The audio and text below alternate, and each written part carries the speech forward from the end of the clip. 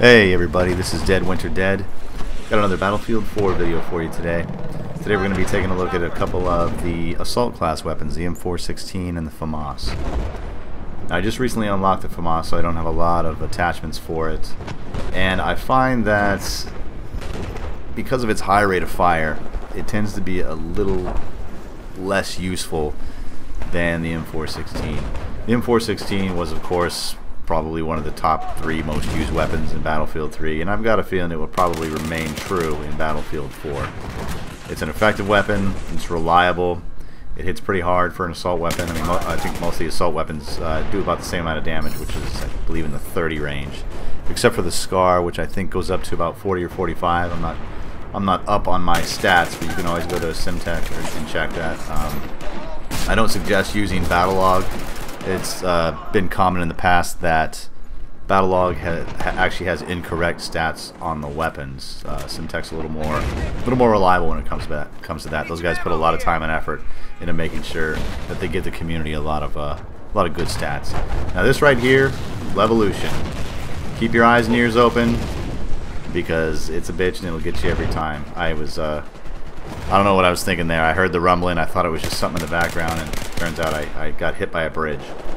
But back to the M416. As you can see with most weapons, I'm tap firing this weapon. It's extremely effective if you can tap fire. I usually, uh, on this particular weapon, I'm running the holo sight. I prefer the the reflex sight or the coyote sight if you can if you can uh, unlock it or I believe get it get it in a battle pack. Those are probably better sights because they don't obstruct your view that much.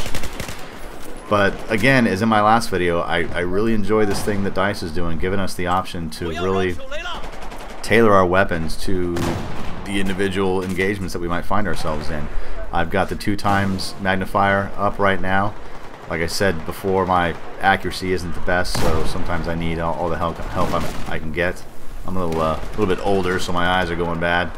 But um, you know, it's it's just nice that you have that option. You can you can flip it down and have um, a combat sight or a reflex sight for those close quarters engagements. And then when things get medium to long, you can flip up that two times magnifier. It's it's really handy. It really makes it really makes it so that you can you can have a weapon that is effective at, at all ranges. Um, but again, going back to the tap firing, I really suggest that you guys tap fire most of your weapons unless you're just incredible at handling recoil. I'm, I myself am not, and I believe the average player is probably not. But tap firing is usually the best way to go, and it's been it's been so probably since Bad Company 2. I think was when tap firing really became like a thing amongst the community, not just something that pro players did all the time. Okay, this next clip is pretty much Battlefield 101, but I still see a lot of players do the exact opposite of this because they want to rack up those uh, those medic points. Remember that the best medicine on the battlefield is fire superiority. So if you see a player go down right here, make sure you eliminate the threat before you try to jump in and start him. One of the, you know, the, the, that battlefield staple of, you know, don't revive me, bro, because you get you get these guys that are just out there for the medic points and they'll revive somebody before they take care of the threat, and then you end up getting killed, and then getting the guy you revived killed, which is just it's just no fun. It's it's, it's just it's, it sucks to see uh, to see yourself get revived just to get shot down by the guy who just killed you three seconds earlier. So make sure you guys eliminate the threat first before you start running around trying to revive your buddies. A little more, uh, a uh, little bit longer engagements here, taking out targets at distance with a two times magnifier.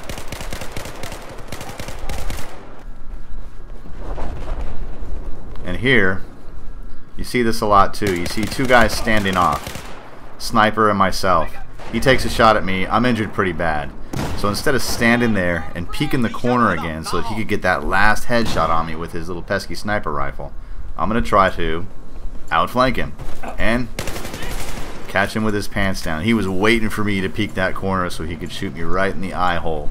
And you, I just, you're just not going to give that guy the chance. So make sure that if you do run into those situations where you're peeking corners and taking hits and peeking corners and taking hits, especially against a sniper, just just relocate. Try to try to attack him from the side. Try to attack him from the rear. But if you peek that corner nine times out of ten, unless you're just quicker than him, or unless he's already really badly injured, he's to take that one shot and take you down.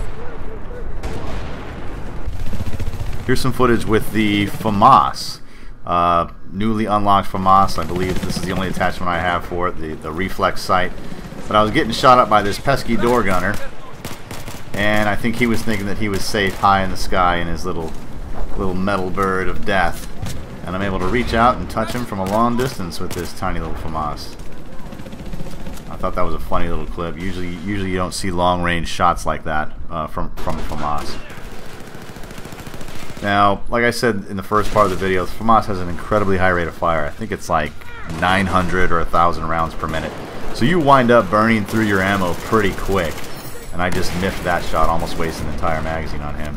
When you're in situations like this where you have more than one target or more than one threat in the area, don't sit there and try to change your magazine.